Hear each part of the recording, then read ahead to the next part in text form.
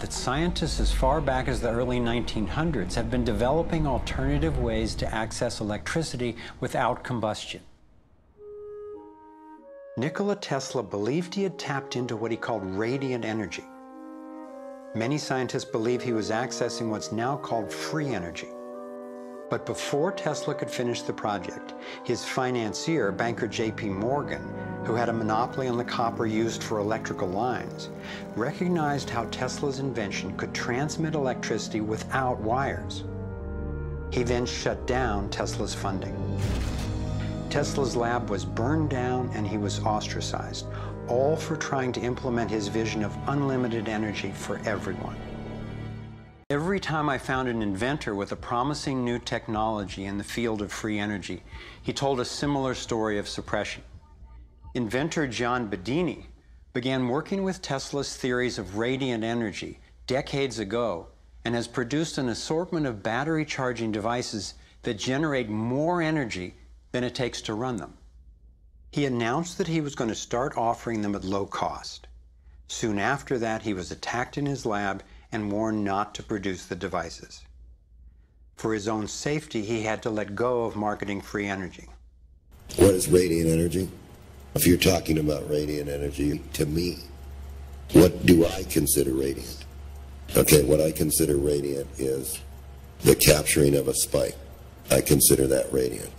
You know, anything that, say, I generate the radiant energy. I do that by my coils, my switching circuits. That's how I generate radiant energy. In other words, what I'm saying is that I'm only concerned with a sharp transient in the spike as far as the radiant goes. You know, as far as negative energy goes, the negative energy comes from the battery. Once I generate this sharp transient and charge the battery, uh, it's a negative effect to the battery because there's no heating of the battery. How do you see radiant energy coming in, John? It seems to be like an ocean wave or a gravitational wave. Know, it seems to ride in on a some form of gravity wave where it's up and down and up and down and up and down. Sometimes it comes in stronger and sometimes it comes in a lot lighter. Well, it, cha- it does change. You know, this this wave does change uh, during, say, a full moon. Some of these motors have been known during a full moon to speed up just a little bit. You know, they actually go a little bit faster at night and a little bit slower during the day.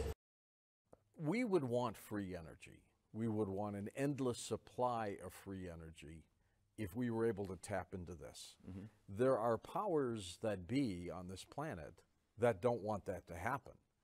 They make money selling oil and electricity and natural gas. How do we combat that? How do you combat that? Well, I combat it, and uh, instead of, you know, they visited me and they said, uh, you know, Smith, what are you doing? I told them what I was doing. They already knew what I was doing. And they were like, don't teach anyone about this. And they said, you know, don't hook it up to the grid and you'll be okay. You know, and, Yeah, but don't- once you do that, try to look so, so what are you going to do now? You got a working system. Yeah. It's not what we wanted. And the whole thing is to like They did not want you to succeed. Right. So I, the way I was able to bring it out of the closet was I hooked up a battery to it. Is this the Bedini Th- system? well, this is a this is a modified Bedini system, the third one he made. It's a ver- it's the only high voltage Bedini system that I'm aware of. It's not the ones you see on Amazon or on TV. This All right. is this is a very Let's take a look at Yeah, please this. check this Here we go. out. This is amazing. What's going on over here? So look, this is self-oscillation. So we get a nice pulse train. That was all yours? So the pulse train is self-oscillation. So the system is set up so it's biased. So when it turns off, it creates, you know, a reverse field, and turns back on, it creates a, the other side, and it goes back and forth. And if it's a big enough magnetic field, it means it can self-oscillate. So it is self-oscillating, but it's oscillating on the trigger, which is cool. But you can stop the rotor and turn it off, and it'll still self-oscillate constantly. So the rotor is just spinning for no reason, to be honest, because it's the more spikes you can get, the better. But now you've got some rotation. There's like no torque there, of course. Almost 400 RPM, speeding up. very slowly. And um, I do have a bank of resistors here. These are all in parallel just to get lower resistance playing with that. One's got to look at it like nervous energy, you know, like firing nerve impulses. You can draw the parallels between how your nerves fire and, and, and what the radiant energy looks like. Today we would say, you know, it's negative energy. But uh, it is different to use. Your, your mind has to think backwards on a lot of things that we were all taught in electronics or in our electrical circuits and in power systems and so forth. And what we found out is when we apply conventional electronics to it, you don't get the same radiant output. Negative energy is energy the surrounding vacuum or surrounding space-time is always desperately trying to force into your negative energy flow and increase it. And what we call conductivity is the ability to prevent that from happening. And so pretty soon he's working in a fashion that the normal textbook guy can't even follow. And when you sit there and scratch your head looking at it, you can't figure out how it's working hardly. One day in the future, I think that eventually we'll be able to power the world with negative energy very cheaply and very clean. And you can come out with an enormous gain. We'll be able to take a flashlight battery and power New York City, at least in theory.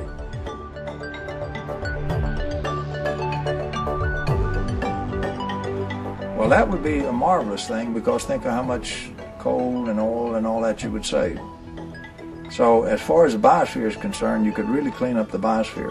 Off, it creates, you know, a reverse field and turns back on and creates a, the other side and it goes back and forth. And if it's a big enough magnetic field, it means it can self-oscillate. You developed that? Yeah, I helped build that. Okay. You know, the Bedini brothers were the ones that we acquired it from a long time ago, and uh, it was funny, uh, not funny, it was unfortunate and actually horrific when we started to do the validation on this just a few years ago. Um, Does it work? Yes, it works great. But we had come across a couple stumps, and it was like, well, let's just call the, you know John up and uh, and see, you know, maybe he could say something, and we did, and we couldn't get a hold of him. So I was well, call his brother Uh-oh. up, and we were like, they called me and said, uh, John died, Ugh.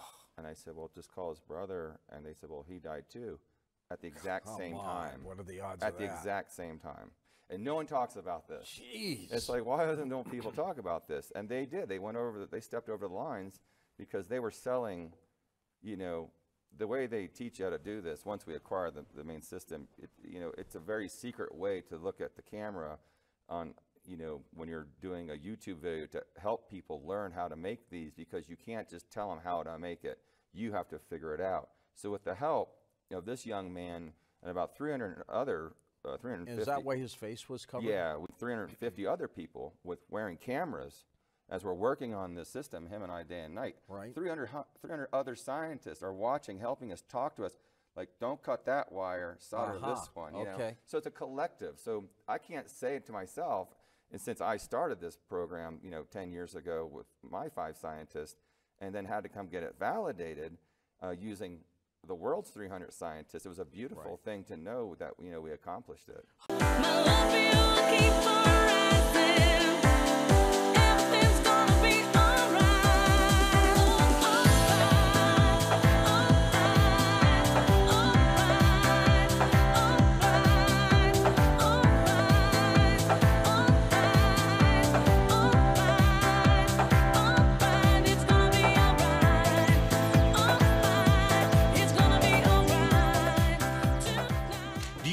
13 year old could change the world? Well, this one might change your mind. Dressed in his lab coat, Yeah, I, I wear this uh, fairly often.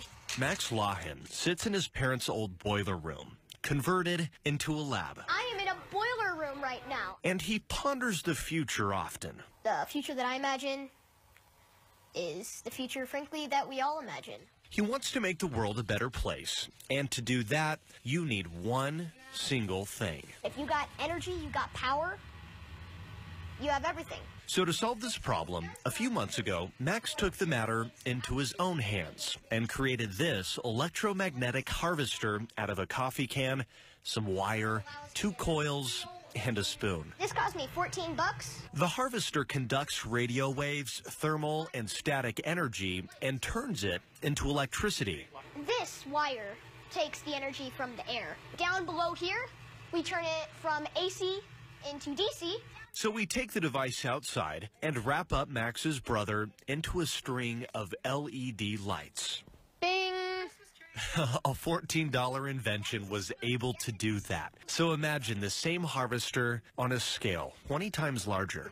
I'm very proud of him. Max's family is thrilled with what he's accomplished, and nobody is more impressed than his twin brother, Jack. Creating free energy, a device that he made in his lab out of 15 bucks, which is pretty amazing. As cheesy as this sounds, from day one on this planet, I knew that I was put on here for a reason, and that reason is to invent, to bring the future. Max has always admired Albert Einstein and inventor Nikola Tesla. They taught him a little bit more than just science. Make the world a better place, to give the world what it doesn't have, so that it doesn't have to struggle in basic things like energy. Max isn't in it for the money or the recognition. My true goal is to help, to invent a future where people can be happy, people can be safe and sound. That's one kid with a whole lot of power.